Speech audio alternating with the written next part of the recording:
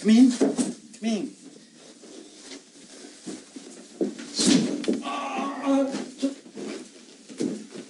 We're gonna get that fixed, aren't we, yo?